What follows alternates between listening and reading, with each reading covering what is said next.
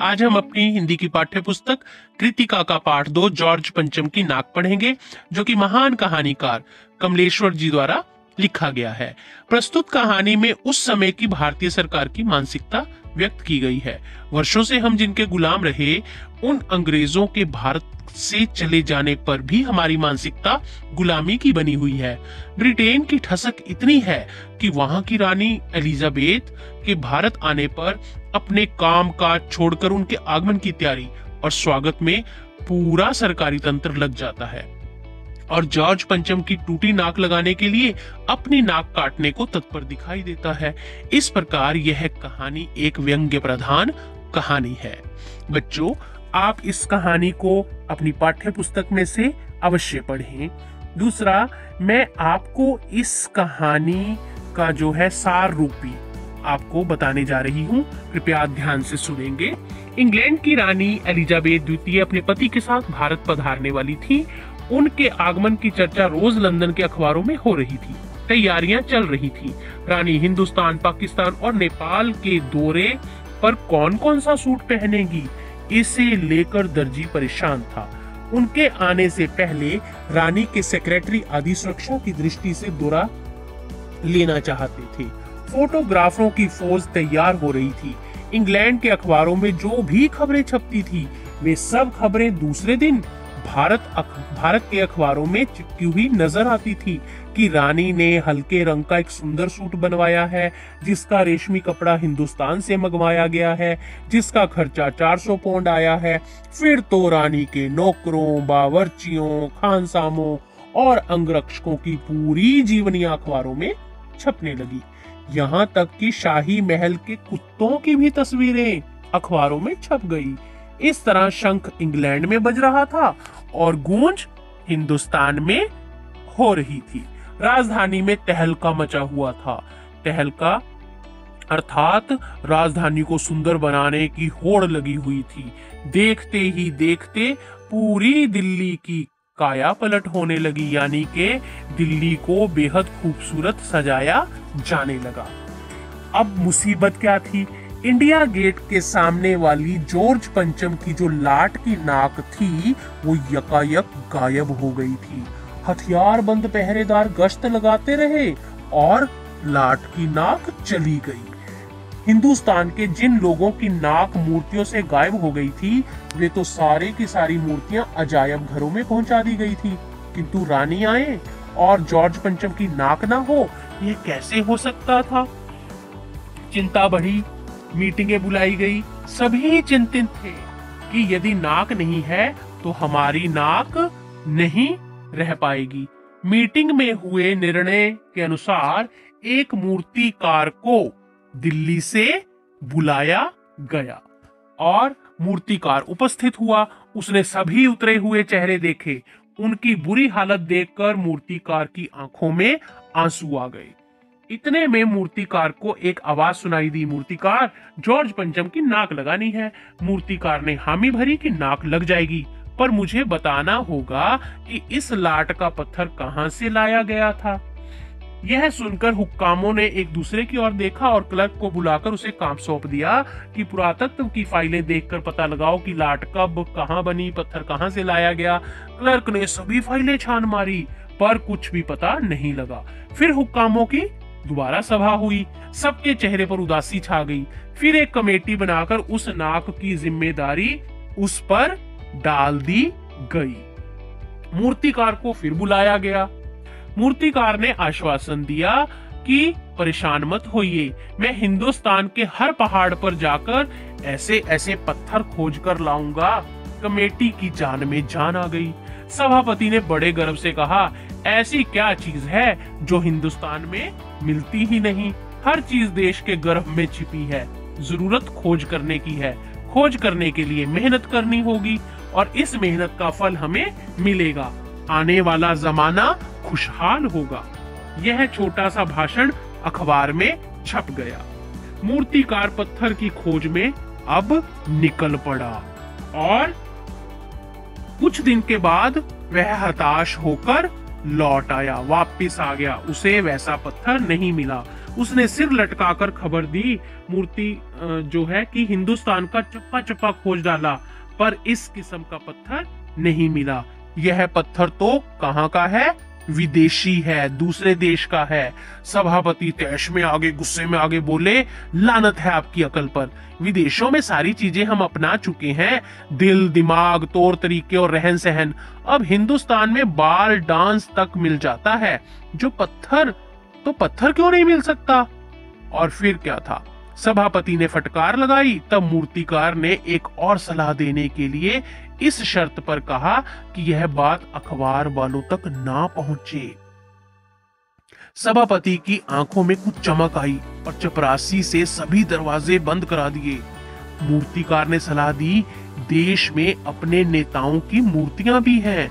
अगर आप मुझे इजाज़त दो, आप लोग ठीक समझो तो मेरा मतलब है तो जिसकी नाक इस लाट पर ठीक बैठे, उसे उतार लाया जाए। यह सुनकर कुछ खुशी लौटने लगी। सभापति ने धीमे से कहा, लेकिन बड़ी होशियारी से, यानी कि जिस भी मूर्ति की नाक उतार करके लाओगे, किसी को कानों का खबर नहीं होनी चाहिए। मूर्तिकार देश के दौरे पर निकल पड़ा। ठीक है, वो चल पड़ा। अब उसने क्या किया? उसने दादा भाई नौरोजी, गोखले तिलक, शिवाजी, जहांगीर सबकी नाकें टटोली। गुजरात की ओर भागा। गांधी जी पटेल, महादेव दिसाई की मूर्तियों को परखा। फिर बंगाल की ओर चला। वहाँ गुरुदेव रविंद्रनाथ टैगोर, सुभाष चंद्र बोस, राजा राम मोहन राय सबकी नाकों की नाप ली। फिर बिहार होता हुआ उत्तर प्रदेश आया। आज़ाद, बिस्मिल, नेहरू। मालवीय की लाटों के पास गया। घबराहट में फिर वो मद्रास पहुँचा, जहाँ तहां मैसूर केरल का दौरा करता हुआ पंजाब पहुँचा और लाला लाजपत राय और भगत सिंह की लाटों का सामना किया और अंत में दिल्ली पहुंचकर अपनी मुश्किल बयान की। क्या कहा उसने? पूरे हिंदुस्तान की परिक्रमा कराया, सब मूर्तियाँ देख आया और सबकी नाकों का नाप लिया पर जॉर्ज पंचम की इस नाक में से सबकी नाकें बड़ी निकली। मूर्तिकार से यह बयान सुनकर सारे हुक्काम हताश होकर झुंझलाने लगे। मूर्तिकार ने आगे और बताया कि मैंने सुना कि बिहार सेक्रेटेरिएट के सामने सन 42 में शहीद हुए बच्चों की मूर्तियाँ स्थापित हैं। शायद बच्चों की नाक फिट बैठ जाए, यह सोचकर वहाँ भी पहुँचा, पर उन बच्चों की नाकें भी इससे कहीं बड़ी बैठती है। बताइए, अब क्या करूँ? मूर्तिकार हार मानने वाला नहीं था। राजधानी में अन्य सभी तैयारियाँ चल रही थी। जॉर्ज पंचम की लाट को मलकर नहला, रोगन कर तैयार कर दी गई थी। सिर्फ़ नाक ना होने के कारण बड़े बड़े हुक्कामों में खलबली मची हुई थी। इधर मूर्तिकार ने फिर शर्त दोहराई। उसने क्या शर्त रखी? उसने इस बार कहा कि कमरे के दरवाजे बंद कर दे, जिसमें कमेटी बैठी हुई थी। मूर्तिकार ने एक नई योजना पेश की। नाक लगाना एकदम ज़रूरी है, इसलिए मेरी राय है कि 40 करोड़ में से कोई एक ज़िंदा नाक काट कर लगा दी जाए। उस समय हमारे देश की आबादी कितनी थी? 40 करोड़। मूर्तिकार की इस नई सलाह को सुनकर सन्नाटा छा गया। सबको परेशान देखकर मूर्तिकार ने कहा, आप लोग घबराते क्यों हैं? यह काम मेरे ऊपर छोड़ दीजिए। नाक चुनना मेरा काम है। आपकी सिर्फ़ इजाज़त चाहिए। कानाफूसी कर मूर्तिकार को इजाज़त दे दी गई। अखबार में सिर्फ़ इतना छपा कि नाक का मसला हल हो गया और राजपथ पर इंडिया गेट के पास वाली जॉर्ज पंचम की नाक, की लाट की नाक लग रही है। मूर्ति के आसपास का तालाब सुखाकर और साफ़ कर ताज़ा पानी डाल दिया गया, जिसमें ज़िंदा लगाई जाने वाली नाक सूख ना जाए। अब वहाँ पर क्या किया गया? उन्होंने एक वहाँ पर क्या किया? तालाब बना दिया। क्यों? क्योंकि जो ज़िंदा आदमी की नाक वहाँ पर लगाई जाएगी, उसको पानी चाहिए, नमी चाहिए, ताकि वह सूख ना जाए। रानी के आने का दिन नज़दीक आता जा रहा था। मूर्तिकार खुद बताए, हल से परेशान था। उसने फिर ज़िंदा नाक लाने के लिए कमेटी से कुछ और मदद मांगी। उसे मदद यह कहते हुए दे दी गई कि उस दिन हर हालत में नाक लग जानी चाहिए। वह दिन आ गया और जॉर्ज पंचम की नाक लग गई। सभी अखबारों में खबरें छपी कि जॉर्ज पंचम को ज़िंदा नाक लगाई गई है। यानी ऐसी नाक जो कतई पत्थर की नहीं लगती। अगले दिन क्या हुआ? जिस दिन जॉर्ज पंचम के बुत पर ज़िंदा नाक लगाई गई, उस दिन देश में किसी उद्घाटन की खबर नहीं थी। किसी ने कोई फीता नहीं काटा, कोई रिबन नहीं काटा, कोई सार्वजनिक सभा नहीं हुई। कहीं किसी का अभिनंदन नहीं हुआ। और कोई मान पत्र भेंट करने की नौबत भी नहीं आई। किसी हवाई अड्डे या स्टेशन पर स्वागत समारोह नहीं हुआ। अखबार में किसी का चित्र नहीं छपा। सब अखबार खाली थे। पता नहीं ऐसा क्यों हुआ? तो यहाँ पर कहानी हमारी खत्म होती है। नाक तो सिर्फ़ एक चाहिए थी और वह भी किसके लिए? एक बुत के लिए, एक मृत मूर्ति के लिए। और वहाँ पर नाक किसकी लगाई? लगाई गई एक ज़िंदा इंसान की। तो यह है हमारे देश के लोगों की मानसिकता। उसी पर व्यंग्य करते हुए कमलेश्वर जी ने यह कहानी लिखी है कि कई बार इंसान दिखावे में बहुत बड़ी गलतियाँ कर बैठता है और वह खुशामद करने वाला, चापलूस कहलाने वाला मानसिकता को लेकर दूसरों के सामने उभर कर आता है। तो बच्चों, चाहे अंग्रेज़ यहाँ से चले गए, हमें उन अपनी मानसिकता को बदलना होगा। हमें गुलामी की मानसिकता को बदलना होगा। हमें यह सोच को बदलना होगा कि वह हमारे से बेहतर है, जबकि हमें यह सोचना होगा कि हम सबसे बेहतर हैं और बेहतर करके दिखाना होगा। धन्यवाद। प्रस्तुत है पाठ दो, जॉर्ज पंचम की नाक, पृष्ठ संख्या दस से सोलह तक। लेखक कमलेश्वर। लेखक परिचय कमलेश्वर। कमलेश्वर का जन्म सन 1932 में मैनपुरी, उत्तर प्रदेश में हुआ। इलाहाबाद विश्वविद्यालय से उन्होंने एमए किया। दूरदर्शन के अतिरिक्त महानिदेशक के पद पर कार्य करने वाले कमलेश्वर ने कई पत्र पत्रिकाओं का संपादन भी किया, जिनमें सारिका दैनिक जागरण और दैनिक भास्कर प्रमुख हैं। साहित्य अकादमी पुरस्कार से पुरस्कृत कमलेश्वर को भारत सरकार ने पद्म भूषण से भी सम्मानित किया। 27 जनवरी 2007 को दिल का दौरा पड़ने से उनका निधन हो गया। नई कहानी आंदोलन के अगुआ रहे कमलेश्वर की प्रमुख रचनाएँ हैं राजा निर्बंसियाँ खोई हुई दिशाएँ, सोलह छतों वाला घर, ज़िंदा मुर्दे, जो कहानी संग्रह हैं।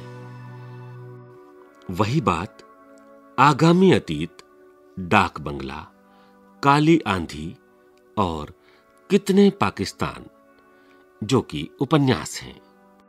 उन्होंने आत्मकथा यात्रा वृत्तांत और संस्मरण भी लिखे हैं। कमलेश्वर ने अनेक हिंदी फ़िल्मों एवं टीवी धारावाहिकों की पटकथाएँ भी लिखी हैं। कमलेश्वर की रचनाओं में तेज़ी से बदलते समाज का बहुत ही मार्मिक और संवेदनशील चित्रण है। आज की महानगरीय सभ्यता में मनुष्य के अकेले हो जाने की व्यथा को उन्होंने बखूबी समझा और व्यक्त किया है। प्रस्तुत है पाठ जॉर्ज पंचम की नाक। यह बात उस समय की है जब इंग्लैंड की रानी एलिजाबेथ द्वितीय मैं अपने पति के हिंदुस्तान पधारने वाली थी। अखबारों में उनकी चर्चा हो रही थी। रोज लंदन के अखबारों से खबरें आ रही थीं कि शाही दौरे के लिए कैसी कैसी तैयारियाँ हो रही हैं। रानी एलिजाबेथ का दर्जी परेशान था कि हिंदुस्तान, पाकिस्तान और नेपाल के दौरे पर रानी कब क्या पहनेंगी? उनका सेक्रेटरी और शायद जासूस भी उनके पहले ही इस महाद्वीप का तूफानी दौरा करने वाला था। आखिर कोई मज़ाक तो था नहीं। जमाना चूँकि नया था। फौज फाटे के साथ निकलने के दिन बीत चुके थे, इसलिए फोटोग्राफरों की फौज तैयार हो रही थी। इंग्लैंड के अखबारों की कतरा ने हिंदुस्तानी अखबारों में दूसरे दिन चिपकी नज़र आती थी कि रानी ने एक ऐसा हल्के नीले रंग का सूट बनवाया है, जिसका रेशमी कपड़ा हिंदुस्तान से मंगाया गया है, कि करीब 400 पाउंड खर्चा उस सूट पर आया है। रानी एलिजाबेथ की जन्म पत्री भी छपी, प्रिंस फिलिप के कारनामे छपे, और तो और उनके नौकरों, बावर्चियों, खानसामों अंगरक्षकों की पूरी की पूरी जीवनियाँ देखने में आई। शाही महल में रहने और पलने वाले कुत्तों तक की तस्वीरें अखबारों में छप गईं। बड़ी धूम थी, बड़ा शोर शराबा था।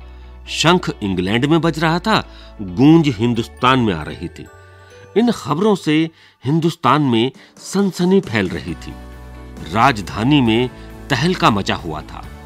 जो रानी पाँच हज़ार रुपए का रेशमी सूट पहनकर पालम के हवाई अड्डे पर उतरेगी, उसके लिए कुछ तो होना ही चाहिए। कुछ क्या?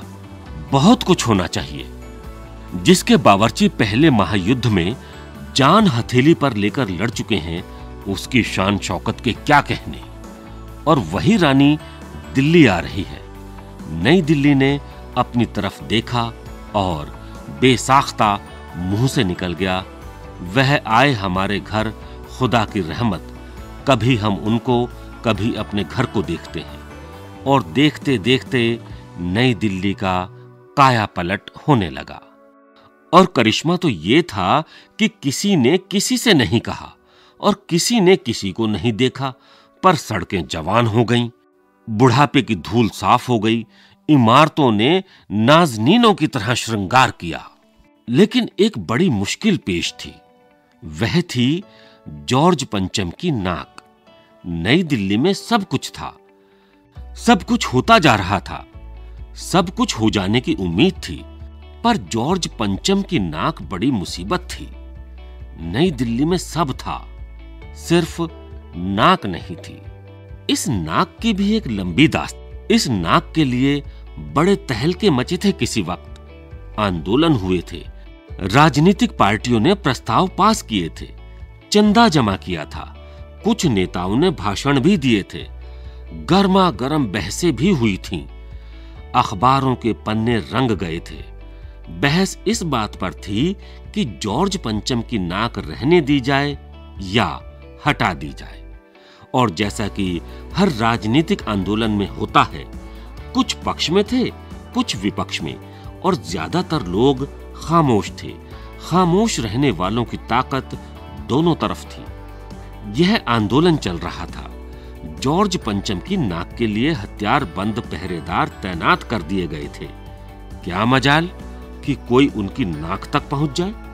हिंदुस्तान में जगह जगह ऐसी नाकें खड़ी थीं और जिन तक लोगों के हाथ पहुँच गए, उन्हें शानो शौकत के साथ उतार कर अजायब घरों में पहुँचा दिया गया। कहीं कहीं तो शाही लाटों की नाकों के लिए गुरिल्ला युद्ध होता रहा।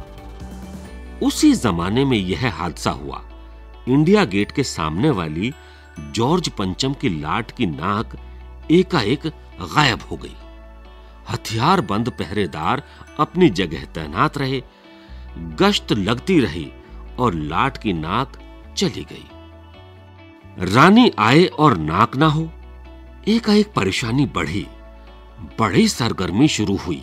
देश के खैर ख्वाहों की एक मीटिंग बुलाई गई और मसला पेश किया गया कि क्या किया जाए। वहाँ सभी सहमत थे कि अगर यह नाक नहीं है तो हमारी भी नाक नहीं रह जाएगी। उच्च स्तर पर मशवरे हुए, दिमाग खरोचे गए और यह तय किया गया कि हर हालत में इस नाक का होना बहुत ज़रूरी है। यह तय होते ही एक मूर्तिकार को हुक्म दिया गया कि वह फ़ौरन दिल्ली में हाजिर हो। मूर्तिकार यूँ तो कलाकार था, पर जरा पैसे से लाचार था। आते ही उसने हुक्कामों के चेहरे देखे। अजीब परेशानी थी उन चेहरों पर। कुछ लटके, कुछ उदास और कुछ बदहवास थे। उनकी हालत देखकर लाचार कलाकार की आँखों में आँसू आ गए। तभी एक आवाज़ सुनाई दी। मूर्तिकार, जॉर्ज पंचम की नाक लगानी है। मूर्तिकार ने सुना और जवाब दिया, नाक लग जाएगी, पर मुझे यह मालूम होना चाहिए कि यह लाट कब और कहाँ बनी थी। इस लाट के लिए पत्थर कहाँ से लाया गया था? सब हुक्कामों ने एक दूसरे की तरफ़ ताका। एक की नज़र ने दूसरे से कहा कि यह बताने की ज़िम्मेदारी तुम्हारी है। खैर, मसला हल हुआ। एक क्लर्क को फ़ोन किया गया और इस बात की पूरी छानबीन करने का काम सौंप दिया गया। पूरा तत्व विभाग की फाइलों के पेट चीरे गए, पर कुछ भी पता नहीं चला। क्लर्क ने लौटकर कमेटी के सामने कांपते हुए बयान किया, सर, मेरी खता माफ़ हो फाइलें सब कुछ हजम कर चुकी हैं। हुक्कामों के चेहरों पर उदासी के बादल छा गए। एक खास कमेटी बनाई गई और उसके जिम्मे यह काम दे दिया गया कि जैसे भी हो, यह काम होना है और इस नाक का दारोमदार आप पर है। आखिर मूर्तिकार को फिर बुलाया गया। उसने मसला हल कर दिया। वह बोला, पत्थर के किस्म का ठीक पता नहीं चला तो परेशान मत होइए। मैं हिंदुस्तान के हर पहाड़ पर जाऊँगा और ऐसा ही पत्थर खोज कर लाऊँगा। कमेटी के सदस्यों की जान में जान आई। सभापति ने चलते चलते गर्व से कहा, ऐसी क्या चीज़ है जो हिंदुस्तान में मिलती नहीं? हर चीज़ इस देश के गर्भ में छिपी है। ज़रूरत खोज करने की है। खोज करने के लिए मेहनत करनी होगी। और इस मेहनत का फल हमें मिलेगा। आने वाला जमाना खुशहाल होगा। मूर्तिकार हिंदुस्तान के पहाड़ी प्रदेशों और पत्थरों के खानों के दौरे पर निकल पड़ा।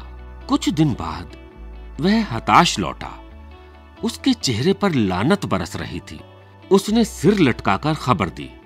हिंदुस्तान का चप्पा चप्पा खोज डाला, पर इस किस्म का पत्थर कहीं नहीं मिला। यह पत्थर विदेशी है। सभापति ने तैश में आकर कहा, लानत है आपकी अक्ल पर। विदेशों की सारी चीज़ें हम अपना चुके हैं। दिल दिमाग, तौर तरीके और रहन सहन जब हिंदुस्तान में बॉल डांस तक मिल जाता है तो पत्थर क्यों नहीं मिल सकता? मूर्तिकार चुप खड़ा था। सहसा उसकी आँखों में चमक आ गई। उसने कहा, एक बात मैं कहना चाहूँगा। लेकिन इस शर्त पर कि यह बात अखबार वालों तक न पहुँचे। सभापति की आँखों में भी चमक आई। चपरासी को हुक्म हुआ और कमरे के सब दरवाजे बंद कर दिए गए। तब मूर्तिकार ने कहा, देश में अपने नेताओं की मूर्तियाँ भी हैं। अगर इजाज़त हो और आप लोग ठीक समझें तो मेरा मतलब है तो जिसकी नाक इस लाट पर ठीक बैठे, उसे उतार लाया जाए। सबने सबकी तरफ़ देखा। सबकी आँखों में एक क्षण की बदहवासी के बाद खुशी तैरने लगी। सभापति ने धीमे से कहा, लेकिन बड़ी होशियारी से।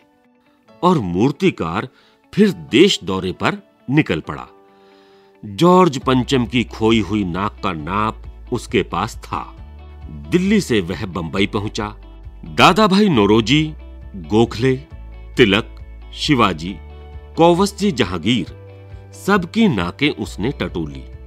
नापी और गुजरात की ओर भागा। गांधी जी सरदार पटेल विठल भाई पटेल, महादेव देसाई की मूर्तियों को परखा और बंगाल की ओर चला। गुरुदेव रविंद्रनाथ सुभाष चंद्र बोस राजा राम मोहन राय आदि को भी देखा। नाप जोख की और बिहार की तरफ़ चला। बिहार होता हुआ उत्तर प्रदेश की ओर आया। चंद्रशेखर आज़ाद, बिस्मिल, मोतीलाल नेहरू, मदन मोहन मालवीय की लाटों के पास गया। घबराहट में मद्रास भी पहुँचा।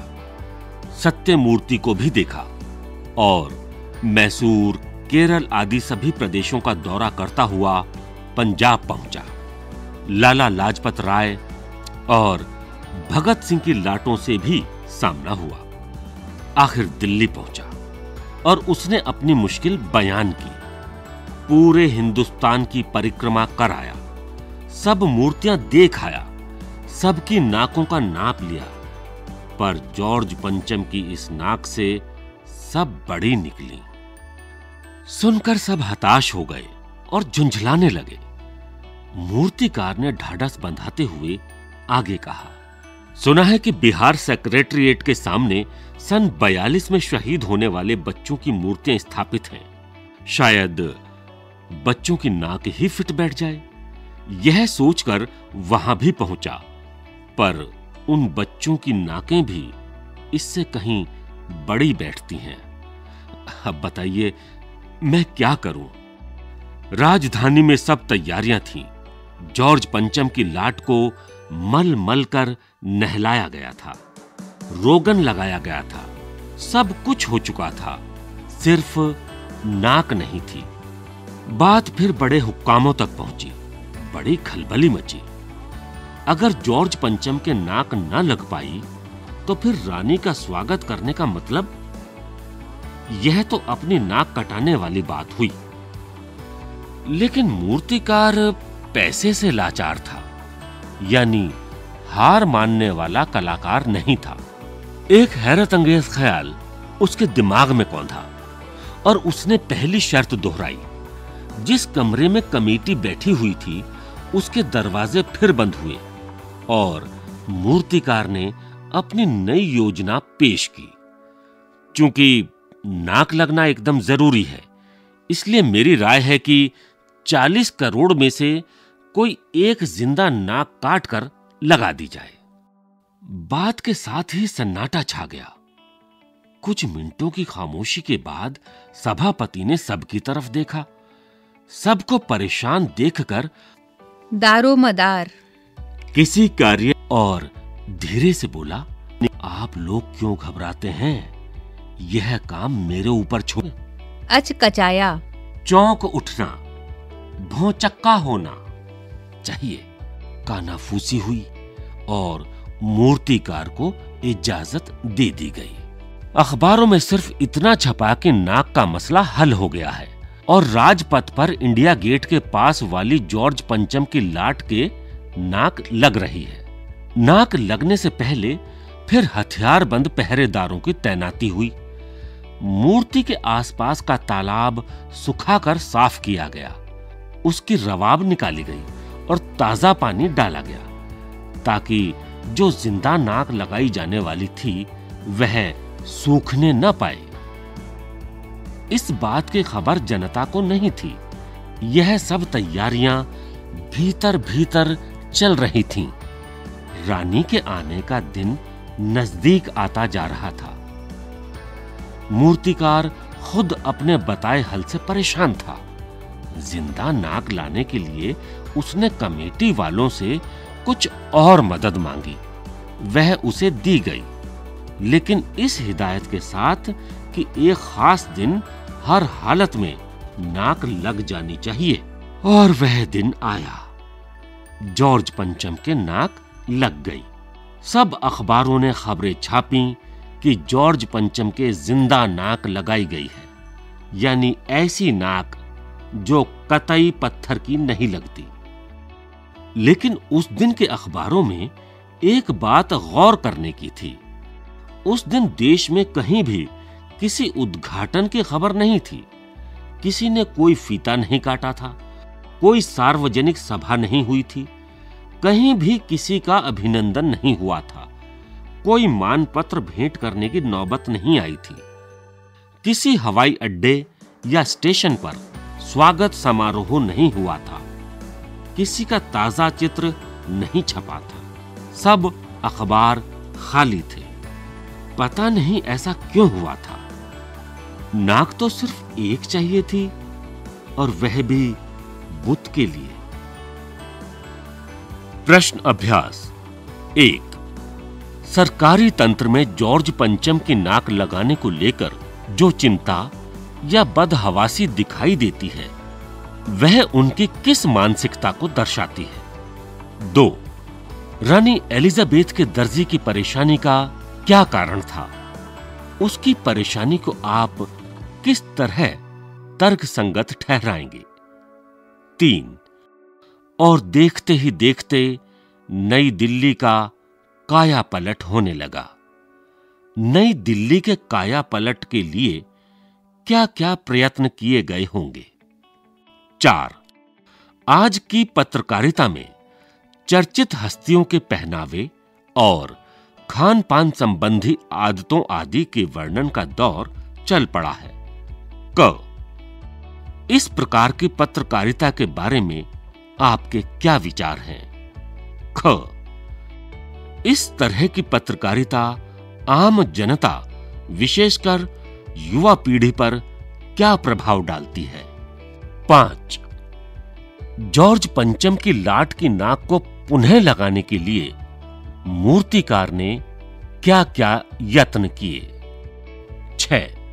प्रस्तुत कहानी में जगह जगह कुछ ऐसे कथन आए हैं, जो मौजूदा व्यवस्था पर करारी चोट करते हैं। उदाहरण के लिए, फाइलें सब कुछ हजम फाइलें सब कुछ हजम कर चुकी हैं।